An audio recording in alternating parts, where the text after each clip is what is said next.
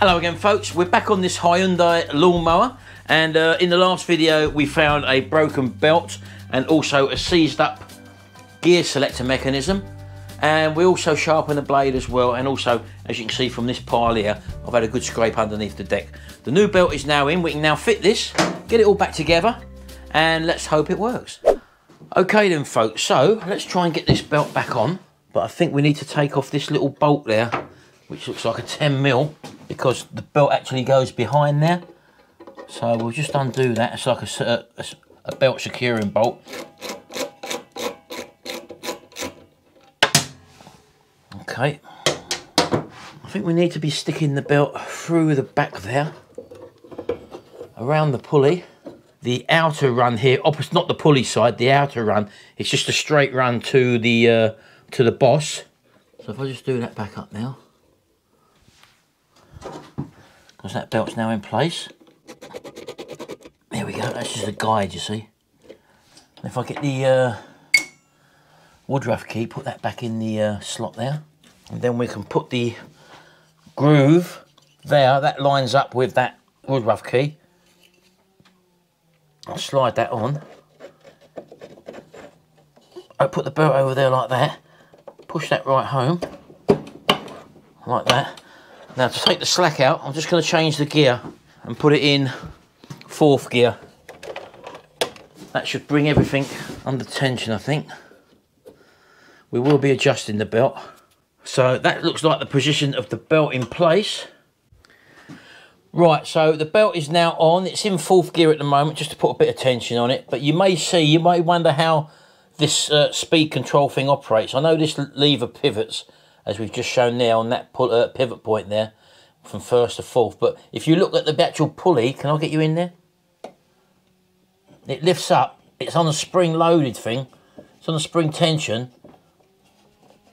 There's a spring up here where my finger is and that actually opens up and closes like a variator.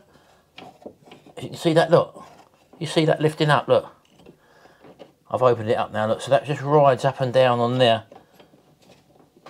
and acts as a variator basically. So the belt moves up and down depending on which pulley speed you uh, you choose. So now we've got that boss in place. So we just got to clip that back in place like that. I've got these two screws here. Now what I didn't show you in the last video these two screws when they go up they stick out of the body. And you've got these two little caps here that uh, actually sit on the top of the screw so they don't get rusty so that's what these little caps are. If you might find them dropping off. I didn't know what they was at first, but uh, I then realised that the top of the screw is nice and shiny and that's why they're there, to protect the top of the screw from getting rusty. So we'll just whack them two screws back in. One, same with the other one. There we go, just like that. We'll clip back in our little protectors. Just get that one started do these two up. And there we go. Just replace our blade. Our blade's got a square cut out and an oval cut out, which matches the square and the oval on there. And also, don't forget what I said to you, when you put the blade on, you shouldn't see the sharpened end. That's the sharpened end, that faces upwards. Just like them flutes face upwards. So let's put that back on place, on there. And this bolt head, I mentioned in the last video, I said it was a 17 mil. It's actually a 16 mil. Uh, it was all crapped up the head, that's why I thought it was a 17, but uh, this is a 16 mil. Let's do that up.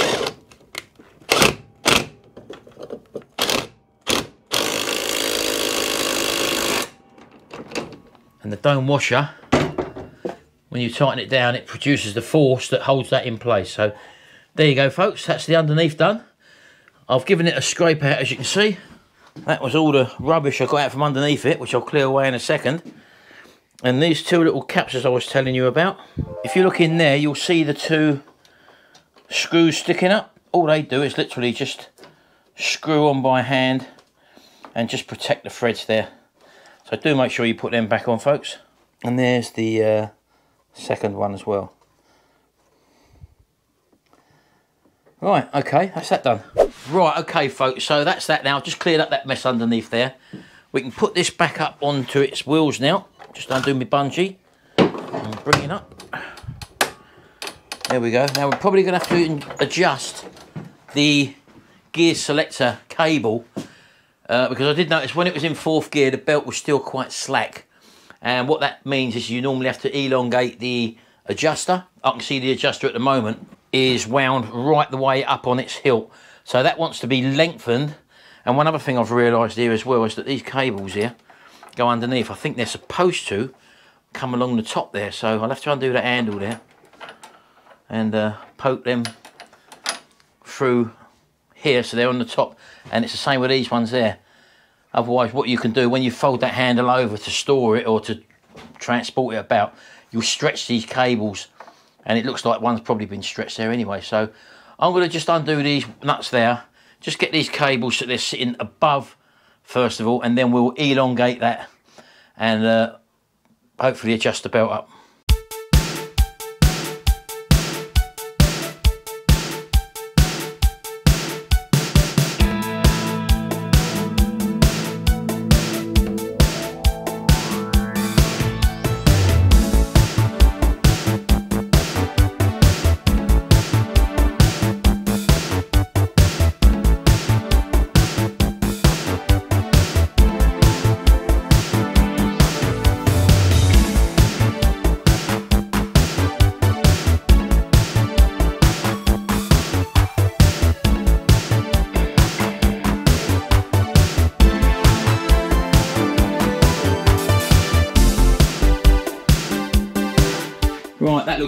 folks. That's as it should be.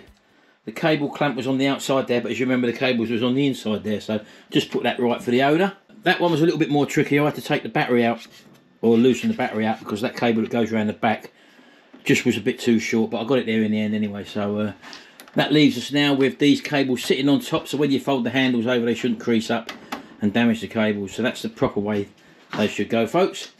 So as you can see, the adjuster here I've got to undo the lock nut there and then that's a 10 mil and then hold back with an 8 mil just to elongate that and then make sure I'm getting the first gear still because first gear is the one that has the travel where it needs to. If you have it too long you can't get it in the first gear apparently.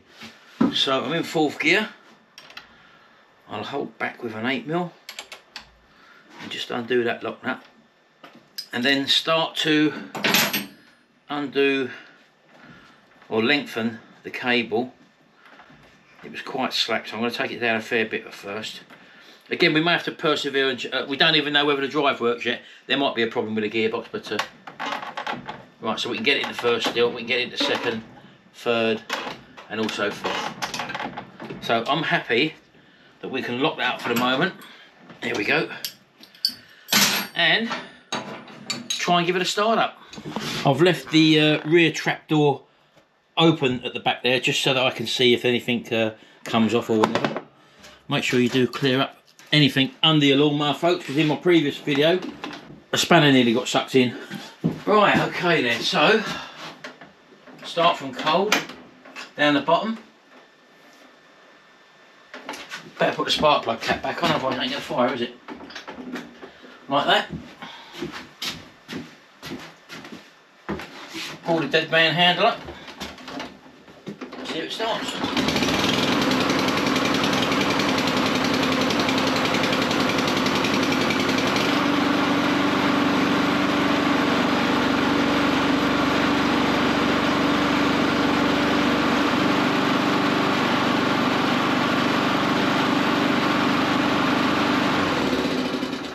No drive.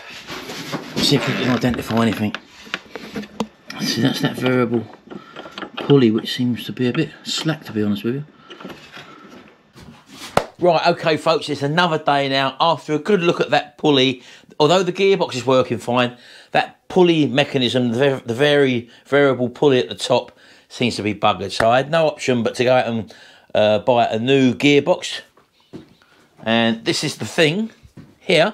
And I don't know if you can see or not, but this gear mechanism is a lot more firmer than the one that's already there and there's plenty of spring tension under that and this one's actually got a bigger spring on it so um, there seems to be a, an issue with that one and uh, that's causing the issue with the tension of the belt making the belt slip and hence it probably wore through because it was slipping so much so this gearbox here coming at about £67, uh, which I thought was actually a good buy, actually, because I thought there'd be double that price. So we've got a new gearbox to go in. And that means I've got to get the old gearbox out. So I've just jacked it up in the moment. You could tip this over on the side. That would probably mean draining the petrol out and draining the oil out. I'm going to try and do it without doing that. So um, first of all, put you on a bit of time lapse. I'm going to take the wheels off, unclip the axles and drop the axle out and then we'll put the new one in. So let's play it by ear. See you in a minute. I stand by you when you're falling, when the river is calling. I said I love you forever. We can make it together. Up down. There's lots of friendly faces all around, and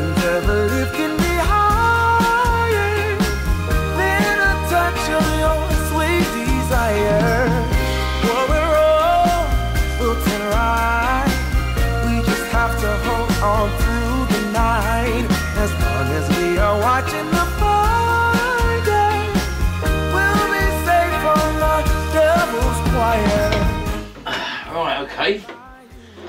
There we go, folks. That's the rear axle out.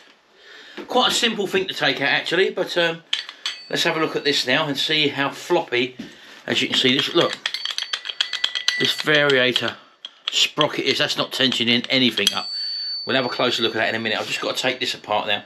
Get the um, the old one out. Put the new one in the handle mechanism.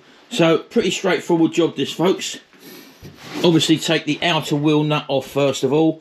There's a washer that sits behind that when you pull the wheel off. On the shaft, you've got one of these, which is a, like a sprung washer. So that comes off next. You then unhook the arm. You then remove a circlip on the front there, which is one of these. That comes off of there. That means that you can extract the gear cog. Now on the back of the gear cog, you'll have a little pin there that goes through and locates in there. Make sure you don't mix these up, folks, because these, I think, are handed. So this one wouldn't go on the other side, wouldn't work properly because it would spin the wrong way around. So that, that comes off there. And behind that, you've got one of these washers. So that comes off as well. Once you've taken that off, you can then pull your, your back plate off. Remove this pin out of the shaft. Uh, like that and then that frees off your, your your front wheel adjuster mechanism and that's basically that off you've then got two 8 mils there to remove which hold that uh, mechanism on which I've just taken off there and underneath the motor you can probably see the hole there on this side you've got a little L bracket which I'll show you there it is there which sits under there which bolts to the deck to hold it in place. So if you don't take that bolt out you can't actually withdraw this. And the other side is exactly the same. And as you can see I've got two screw trays one that side and one for that side. So everything's actually identical to what I've just shown you there. I've just wedged the flap up with a, a bit of a copper pipe there. It allows me to gain access to disconnect the cable which you need to disconnect off the arm and then because I've got it like this I've not had to drain any fluids out whatsoever and tip the mower up on its side and risk getting all the fluids everywhere. And it's literally just dropped out from underneath. So let's get a closer look at these now. Let's get that over there.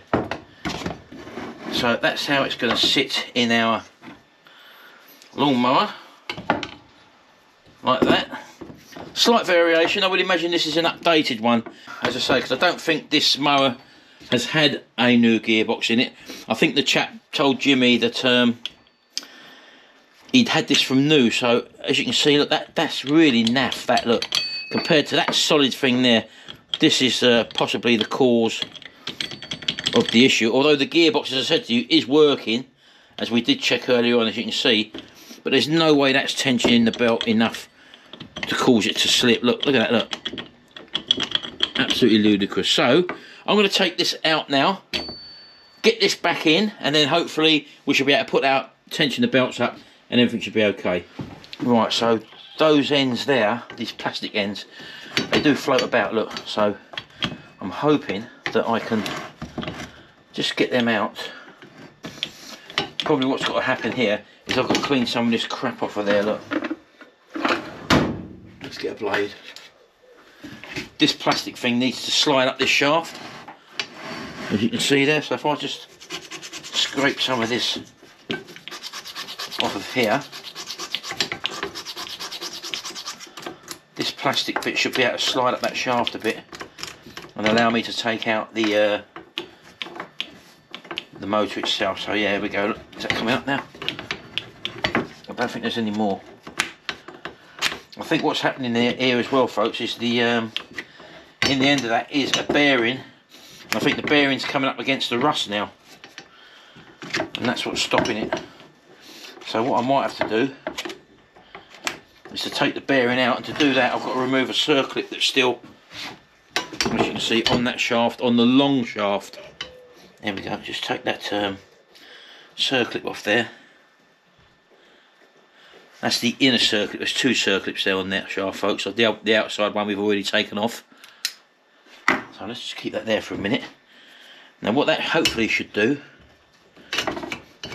be allow me to pull that bearing out of there if I can. I've got to get the bearing out of its plastic housing. Right, there we go. Just forced it enough, folks. Look. Just got that out enough. I'll push that dead on. There we go. Right. So that I should now, hopefully, able to just withdraw that motor away from that bracket. I'm keeping it that way around so we know what way it goes in. So I need these ends off. That's why I needed to take that circlip off there. That should come off here now. Pretty straightforward. That goes on to, again, the long shaft. So that goes on to there like that. And this one here, you see the bearings popped out on that one, look. That should come off of that shaft there. Like that. And that goes back on the same orientation onto the new shaft. And that's that. So this little baby which seems to be totally knackered there. Look at that. Look. You can see where the belt's been rubbing on there actually on the inside on that centre spindle there. That don't look right at all, does it? So that's coming out. This comes back in this way, like that. Just give that blade a bit of a clean off, look. a bit of a clean off. I mean, some people probably put this back on as it was, but uh, while you're here, you might as well attend to it.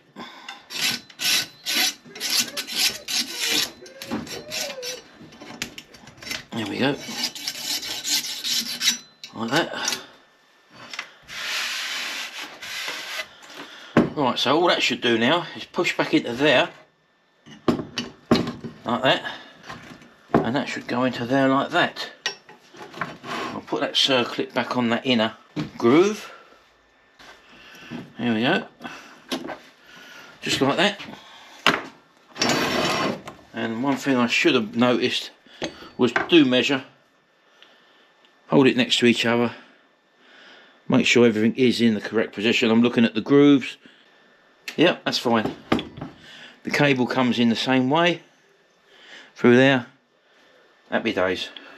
So one thing not to forget, folks, is to take off that little bracket that bolts to the deck and put it back on your new gearbox. So move that over there. It just sits underneath there. There's the hole for it. Goes back on exactly the same way. Right, so there we go. That's that back on. Right, I'm going to put this back in, folks, and I'll see you in a minute.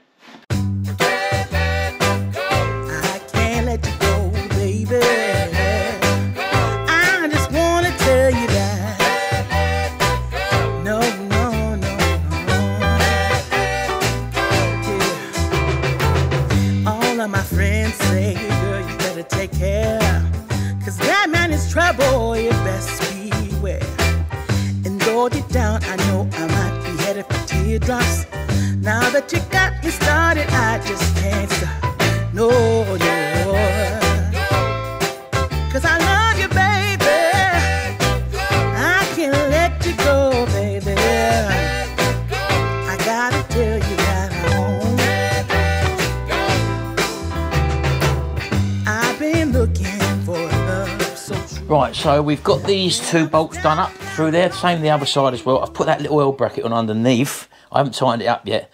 And I'm just going to get the uh, circlip now on the shaft, the inner circlip. So that literally just goes over and pushes into place. Should hear it click in in a minute. There we go. That's that one in. So I'm going to do the same the other side. So we've got that one on the other side there, as you well know.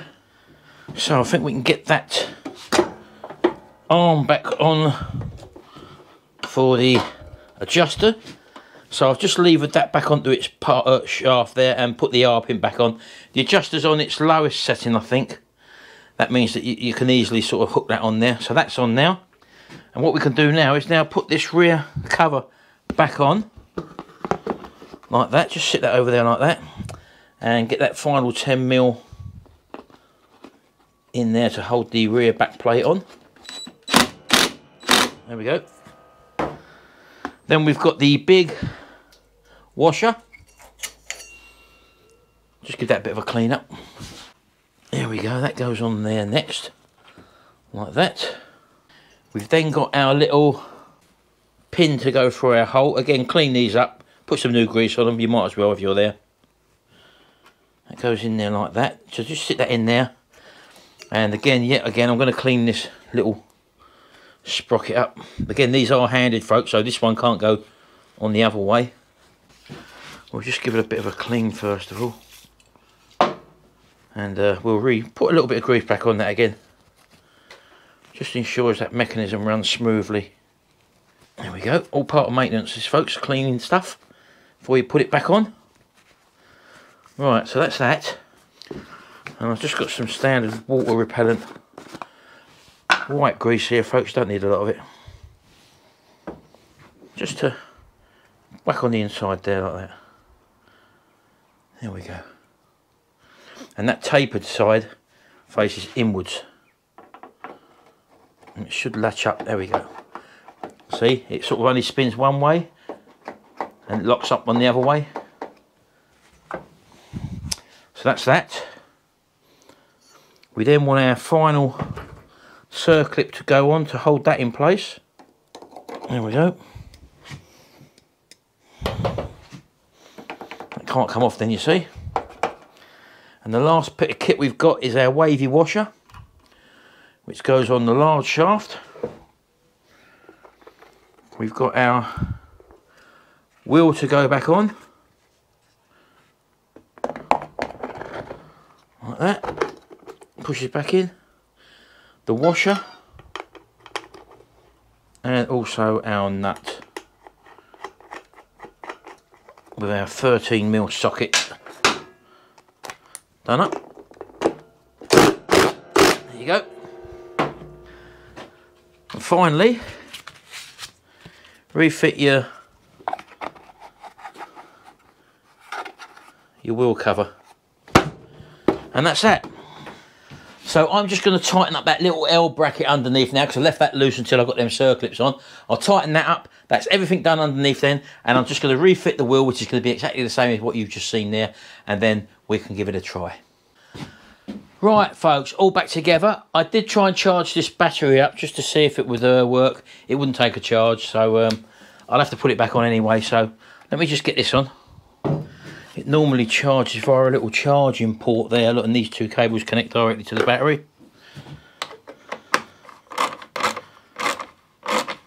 There we go. And that's back to normal, folks. Right, let's get it off the lift. So don't forget, we might have to adjust this uh, belt up. We'll only know that when we get outside. Right, let's get it out. Come away, go on, away. Right, let's see folks. Choke on.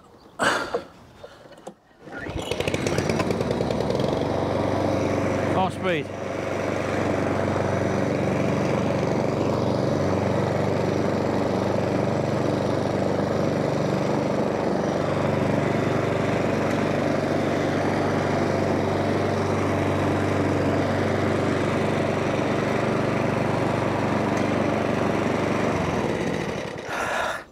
Well, it's not the fastest, folks, so uh, I think it's going to need adjustment.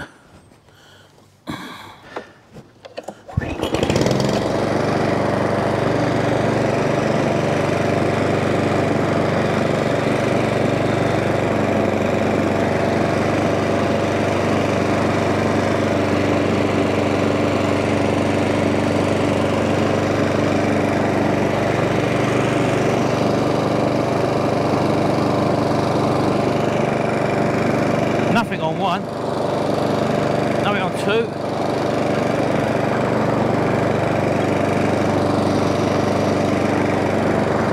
Four.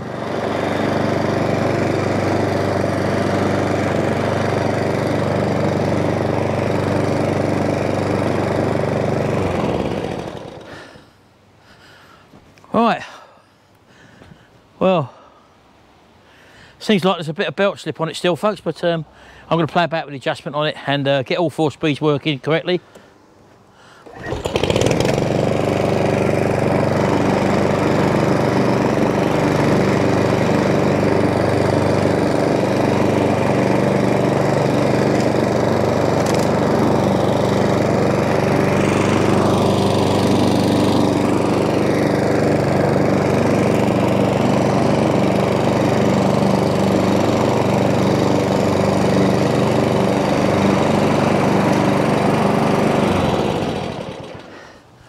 Right, that's it, folks. I've just got a little bit of adjustment to do, and uh, everything on this one should be okay then. So, thanks very much for watching.